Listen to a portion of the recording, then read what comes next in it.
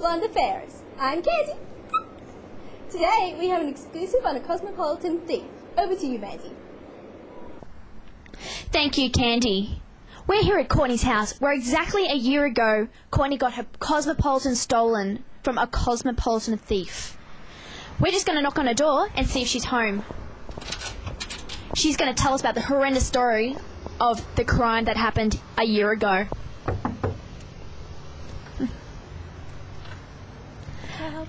Hello, Courtney. We're here from Blonde Affairs, and we'd like to interview you about your cosmopolitan robbery. Can you tell us what really happened?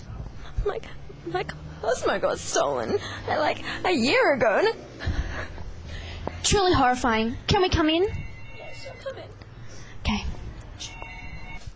Thank you, Courtney, for taking us into your beautiful home, which has yellow benches. Anyway, we would just like to ask you a couple of questions about your cosmopolitan robbery attack last year. No one would dare to interview you on this attack, but we cover the real significant stories.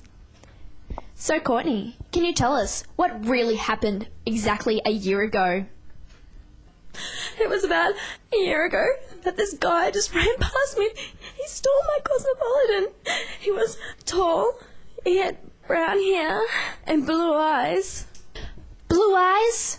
Wow. Yeah, blue eyes. And he had really, really, really big Hands? Uh, oh yeah, hands. Oh, that is truly shocking. So, Courtney, what has this year been for you? What trauma have you actually gone through? I've been to see doctors and psychiatrists and dentists and orthodontists and pharmaceutical people and just An exorcist? yep, exorcist. And now I've just figured out I can't live without my cosmopolitan. I have to sleep with it every night. I just can't bear to let it go. Courtney, on behalf of Blonde Affairs, we have just given you a year's subscription to Cosmopolitan Magazine!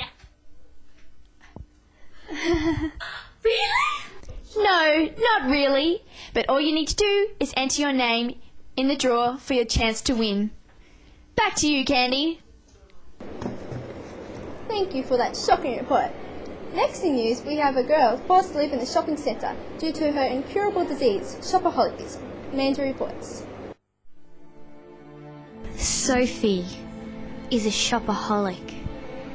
After going bankrupt earlier this year, she was forced to live within the shopping centre. She wanders around while the shops are closed on her own, longing to try on clothes at the front of the stores. Just later on, we caught up with the shop assistant. Courtney, tell us what you think about the shopaholic hanging around your shops. Oh my god, she's so annoying. This one time I had to invite her in because she was leaning against the glass and like I had to clean it and it was just so disgusting. She's so irritating. Is she very greasy? Yes, very greasy. I have to use like two paper towels. It's disgusting really. So, how did you become bankrupt? Well, I, I maxed out my credit card because I bought a Louis Vuitton bag. But then it wasn't until last day I realized the Louis Vuitton bag was fake. Oh, um, so, um, why do you live in a shopping centre? because I have no money left, and because the shopping center makes me feel at home. I love it. So, what's your opinion on shopaholicism? Um, I'm not buying any today, thanks. Um, I'm sorry, I've never heard of anything like that. Um, shopaholicism. No, I don't think I've ever heard of such thing. Well, I hated how people say shopaholicism isn't a disease. I'm living proof that it actually is. I just, I go shopping and I try on clothes, but I can't buy it. It's just so hard to cope without buying anything.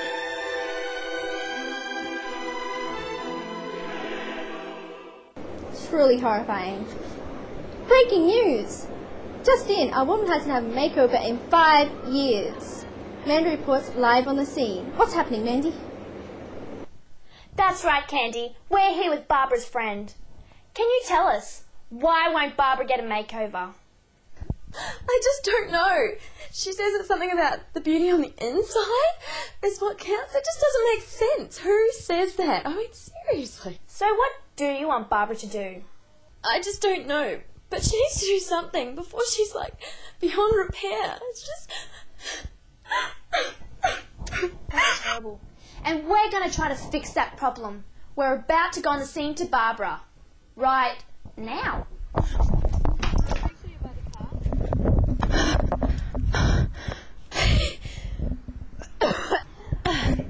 Sorry.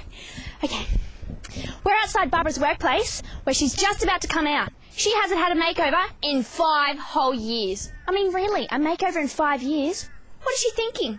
We're just waiting for her. There she is! There she is! Come on, come on! Barbara, Barbara, why don't you get a makeover? Barbara, why don't you get a makeover? No. Your friends run up. Why don't you get a makeover? Get off.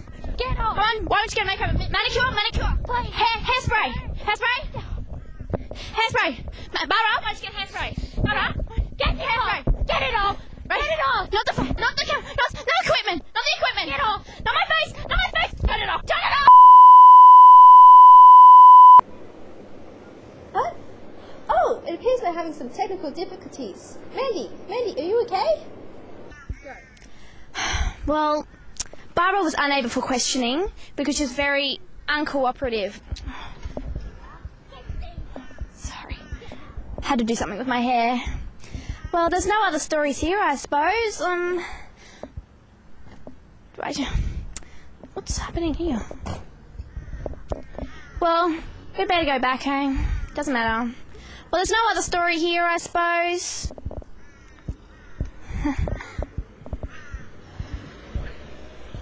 Okay. Okay, come over here.